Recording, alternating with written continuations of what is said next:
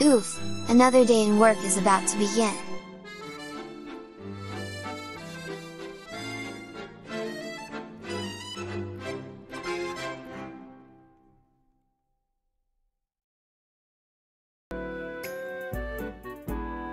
So, that is my third upload in 3 days, and you'll see there are lots of changes since the last two videos. Just remember this is work in progress, that isn't even reviewed by the design team, and the point of those videos is to follow GNOME progress that is super fun. 私春からこの町の学校に通うことになったの。ほう。 Fun aside, every time you see an open source review you should always give feedback to the developers. It is your duty to give constructive criticism and shape the future of GNOME. Chino please give an example of constructive criticism. 私春からこの町の学校に通うことになったの。ほう。 That was perfect, thank you Chino. 知らない気配がして隠れるのは普通だろ I'm sorry. I'm going now. Ha, $2 already from YouTube ads. 学校に通うことになったの。 Yes, but I'm so cute, ain't I?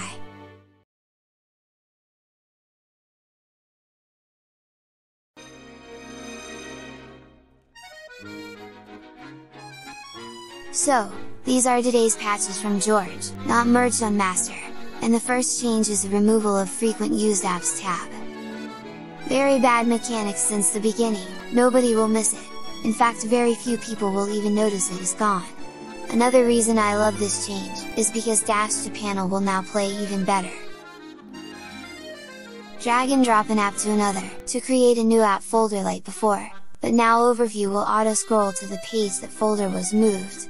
Super super nice change!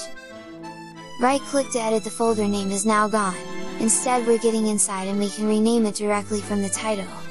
Also a very nice change, with better discoverability. And again, Overview will scroll to the page that folder was moved. Let's go to controversy. The blur now only works on app folder box, while before it was working on the full overview, and I think it was much better.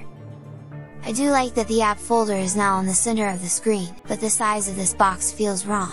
Probably it is made that small so we can easily remove apps, but the visuals just feel wrong. There are ongoing discussions on IRC, and I don't believe that will be the final design anyway. Removing an app will close the app folder, and adding apps will not automatically open it.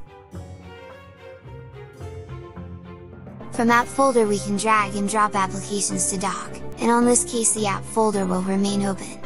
In general the whole experience feels pretty robust. Another thing that hopefully will arrive, is the custom placement of icons in app folders, which is yet another reason we don't need the frequent view. If that get combined with the multiple line labels, to me at least, Shell Applications Overview will be almost perfect. A few things like emptying an app folder are bugged, so I can't show that. Nevertheless the progress is impressive, considering that George is doing one more million stuff. And you should know! If I didn't like it, I was simply doing constructive criticism and saying it sucks. To make a glorious video exit, I'd say the first time I see GNOME Shell having such active development.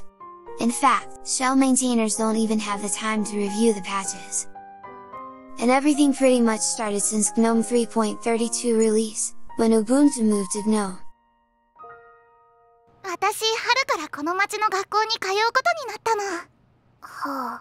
Or maybe was an accident, but in any case, we have nothing to worry about. And even if they screw something, they will fix it on next release, because things have started to happen very fast.